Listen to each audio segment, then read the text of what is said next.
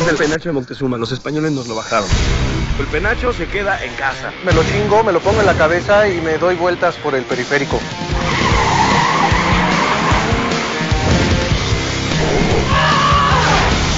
Esa reliquia es un tesoro nacional, ¿saben lo que vale?